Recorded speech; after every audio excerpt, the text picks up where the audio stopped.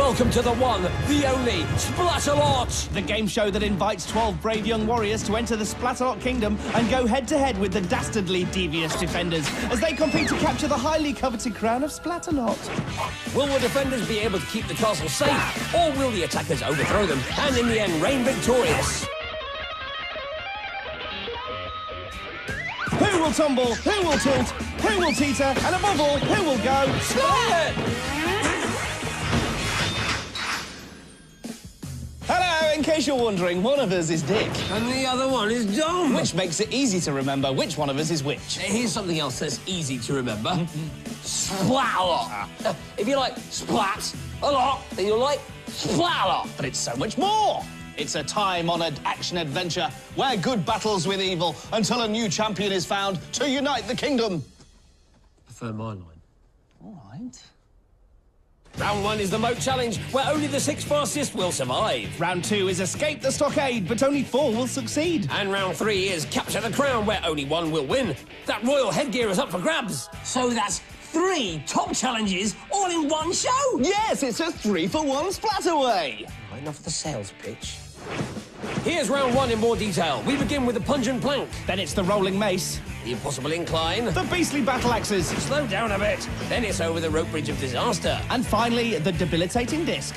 I'm exhausted just describing it. Pace yourself, otherwise you won't last the show. In fact, you may want to look away now, as round one is just about to get worse. What?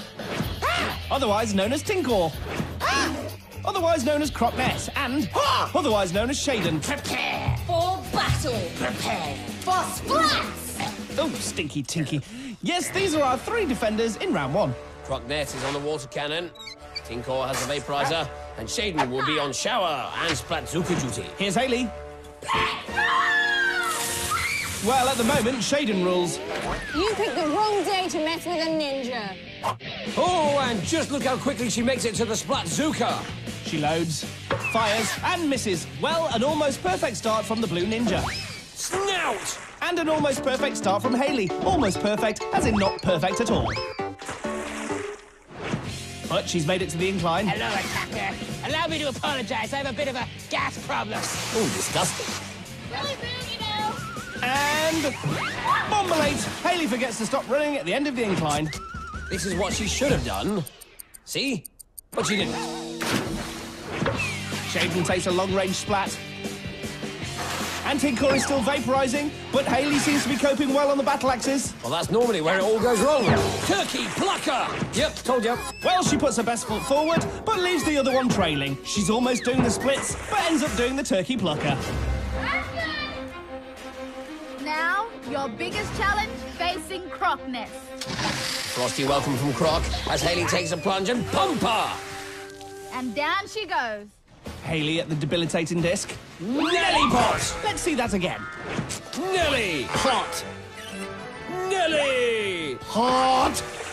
But despite that Nelly pot, she's fine and makes it through in 6.24. Good victory dance. Here's Michael. The prince is ready to become king! So, here is Prince Michael on the slope. Hello, Michael. I hear you think you're worthy of being our king.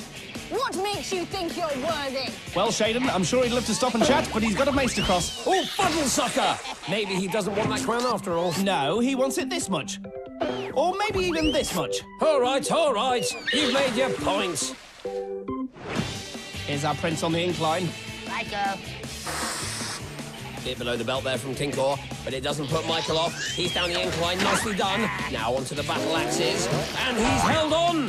Of course, if you make a clean crossing, you avoid being splatted, but you also save a lot of precious time. Just the debilitating disc to go. Windy! Tinkor enjoyed that, but so did Michael, and he'll be happy with that time too. Not king yet, but who knows? Already slipping and sliding. It's Anish. Anish, how do you spell that battle cry? Here he is on the incline. Dish. Smash. Just realised smile is an anagram of slime. Yeah, and that's splat, however you spell it. I like it when we say clever stuff. Mm, Yes, it's uh, quite rare though, isn't it? And now Anish is back up, but he looks exhausted. Had enough? Right, yes. Oh, still not had enough? Well, Anish bravely dug deep and finished, but that time of 9.01 could be a problem later. Up next and down next is Danielle. Hmm, I find blue pizza has generally passed its sell-by date. Here she is at the battle axes. All right, Dad. Uh, let's see if you got what it takes. Well, she's taking time, that's for sure. Falkirk! With the first back splash of the day, that was Shaden. But Danielle is literally unmoved. This one seems to be taking her time, Shaden. Well done, Crockness. Sharp as ever. And Danielle's on the move, that's the first axe. Brat versus Tash! Why did she jump off? Maybe she saw something. A bear? A shark? A snake? You? Haha, yes, that would do it. Dom Zed on the axe. Shut up! Well, at least you scared her into finishing. Yes, but that time of 10.23 might not be fast enough. Here's Kiana kicking off with a mace splat. Goobawalla!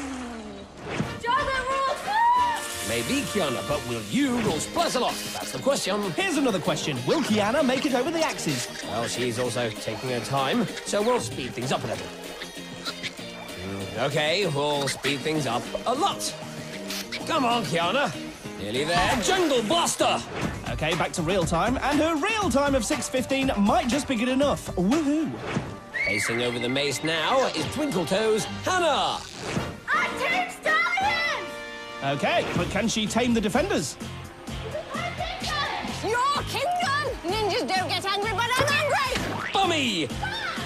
Sorry, did you say you wanted more? Okay. Double Bummy! Hannah takes a splat on the booty from Shaden and almost a bucket full of slime from Tinkor. But she's made it over the axes! I'm gonna finish what you guys couldn't. Don't know how Tinkor and Shaden will take that, but she's made her point. There goes Hannah into the Moshi. And Croc turns the cannon off. Very green. Here's Hannah at the debilitating I'm waiting for you. This doesn't look good. Sneak glitch! And horse-loving Hannah is in a one-horse race for that bale of hay. Even so, she gallops round her kingdom in a very respectable time of 4.15. A great way to end the first half. So Prince Michael leads the way with 4 minutes 1, but Danielle, who was scared by Dom earlier, has the time to beat of 10.23. How could this scare anybody? Will you stop it? Some of our viewers might have just eaten. Well, let's hope the six remaining attackers haven't. It's still pretty sporty out there. So we're halfway through round one. Which means six attackers have already been round the course. And six more are about to. But only the six fastest will move on to the next challenge. Which makes it very finely balanced indeed. Yes, at this particular moment in time, it would be impossible to predict who's going through. But we do have the times from the first half attackers. Right up! Ah! I win. Here are those times. Michael leads with 4 minutes 1, but both Anish and Danielle are in danger and are hoping for some slow times in the second half. So, with a watery Crockness, a gassy Tinkor, and a slippy Shaden. Let's bring on our next attacker, Sarah. So, beaver-tailed Sarah screams the second half into life. Shaden, let's see that ninja accuracy. Shanklin! Good shot, Shaden. Let's see that again. Yes, it's a triple Shanklin attack from our blue ninja. Tinkor asked for accuracy, and that's what he got. Or rather, that's what Sarah got. Here she is at the mace, more twinkle toes, but fluffle nuts! Loving that twinkle toad noise from Sarah. But what's that other sound? It's the sound of her beaver tail hitting the mace spikes. What a sensible answer. Snap her up, Crockness. Hello there. Flubbery snit! You know, the defenders are really backing each other up in the second half and getting results like this. But Sarah has made it with a good time of 4.57, knocking out Danielle in the process. Ah! I like Calvin already, and here he is on the slippery catwalk. Give us a pose, darling. Calvin declines, but we've got him anyway and turned him into Splatalot's most wanted. Shaden has him in her sights. Saltash! A back splat to start with. And Calvin, aka Scoodles, runs for the hills but forgets he's on a rolling mace and down he goes! Well, partner, like a cattle rustling critter, he gets lassoed into the watering hole. Thank you, Dominic Clint Eastwood. So you think you're worthy of our crown, do you, Calvin? Oh, I don't need an answer? Fine, I'll just splat you then. Shaden misses, but then so does Calvin, and he's back in the wobble flog. He dies avoiding four paintballs, but is once again a prisoner in the Whopple Flog. Okay, Scoodles, you're no longer on the run, and with 610, you're currently through. About to take a plunge onto the pungent planks, please welcome Corinne. Not to everyone's taste. What, Corinne? No, blue cheese. She's really struggling on that slippery slope. Come on, Corinne. She refuses to give up, but oh dear. Come on, Corinne. Look, even Stinky Tinkle's lost interest, and he loves blue cheese. It's turning into hard cheese for Corinne. She just can't make it. Knobbly Wally. Down, down, down. No, no, no, indeed, Tinkle. Corinne's time is simply too slow to qualify. Hard cheese, Corinne. You've already said that. You better watch out! The Twister's coming through! Sofia should be okay on the twisty, slippery slope then. I see you. I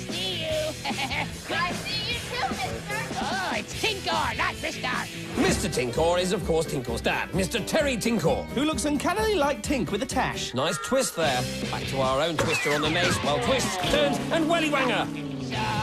Sofia, so slow.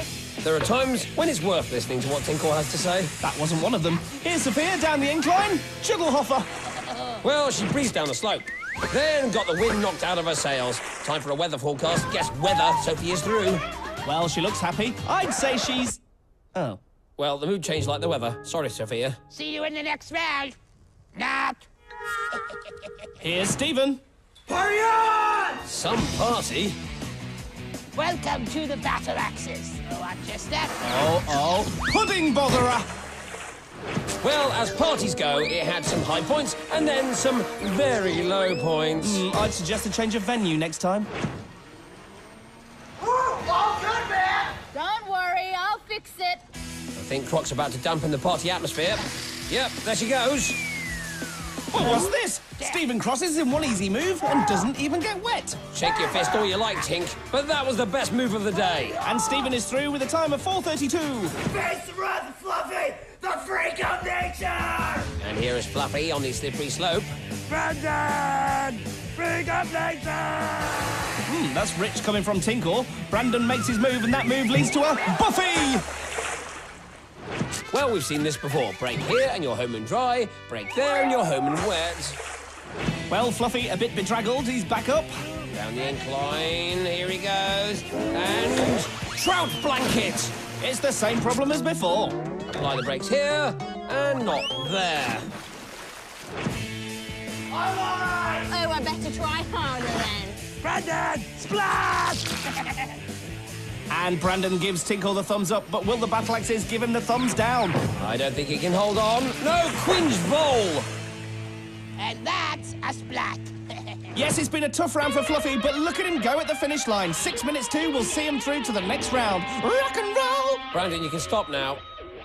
So, that's the end of the Moat Challenge. Yes. Bye-bye. We now have our six fastest attackers who'll be moving on to round two. They are Michael, Hannah, Steven, Sarah, Fluffy, I mean, uh, Brandon, and Calvin. They've done well, but it doesn't get any easier. They now have to escape the stockade, which is as tricky as it sounds. Yes, new defenders, new foam, and new slime. But of course, it's the same old Splatfest. Ladies and gentlemen, before we commence with round two, as they shall never be heard again, please put your hands together for the battle cries from round one. Pink and chocolate rule! I love blue pizza! The prince is ready to be king! Beaver tails and blue cheese! Party on! You better watch out! The twister's coming through! Uh, Face the wrath of Fluffy, the freak of nature! And those were the battle cries from the first round. And here are the six fastest attackers from the first round. Not again! yep. Michael, Hannah, Steven, Screaming Sarah, Fluffy Brandon, and Calvin. Now then, old boy. Oh, me? Yes. If I needed an exciting shopping list for round two, what would be on it? Oh, well, let's see. Stockade, Hexapods, Rungs, Ladders, Flags, Ladders, You said that. Stockade. You said that. Oh, and two sticky buns and a bog roll. Okay, let's just do that again. Attackers must stand on the small hexapods to grab ladder rungs to build their ladders. The fastest four to do so can then grab a flag from the middle and make their escape. Oh, and three new defenders. First up is the barbarian we like to call Scar! Then the ballistic, Lisa! and finally the high and mighty. Nitrous! You want the crown You don't stand a chance against us! against us! So the attackers are in the stockade. Let's match names to vests. Brandon in purple and green stripes, Sarah in pink, Hannah in blue, Michael in green, Steven wearing a lovely orange, and Calvin in a green and orange combo. The defenders are poised. Hey, they're off! Michael on the receiving end of Scab's froth brother. And Sarah with a perfect landing. These two have their first rungs. They are setting an early pace. Can Ballista slow them down?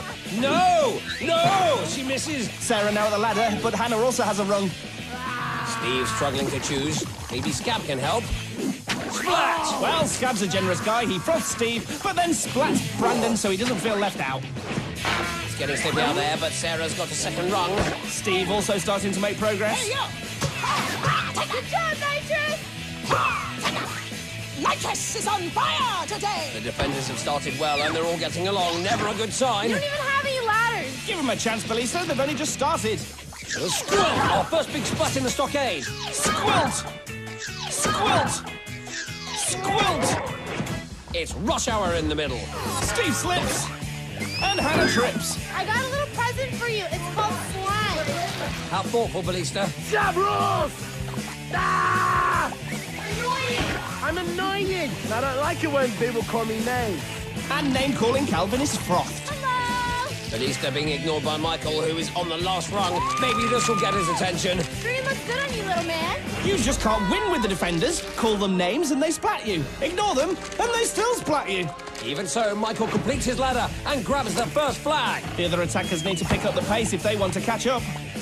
Michael makes it to the top. He's through and becomes our first finalist. I heard blue was your favorite color. And I heard you make a lot of things up, Ballista. Hannah now, frothed by Scab. Jump! Jump already! He's loving it.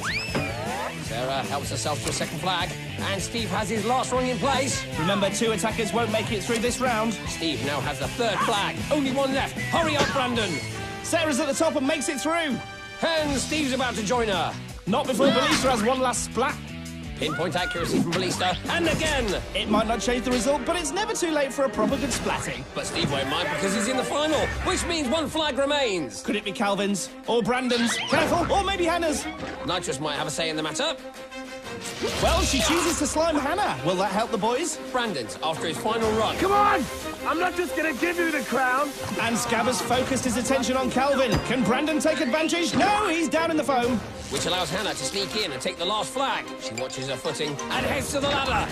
I don't know if it's in your best interest to come up here. Well, it is if she wants to reach the final. Calvin and Brandon are still battling on the barrels. But it's too late because Hannah has reached the top and is through. Oh, that's awkward, Michael. Yes, that's a new low for a high five. But no matter, as they are today's Splatalot finalists. Ooh, Michael once again in the thick of it. Brandon and Calvin wish they were in the thick of it, but they're just left in the foam. So, heading for the final round, we have Michael, Sarah, Steven, and Hannah, all seeking to capture the crown. Only three things stand in their way. The course itself. All six defenders. And, of course, each other. So who will win? It's impossible to say. All we do know is someone will be leaving the rest in a spin. Nice.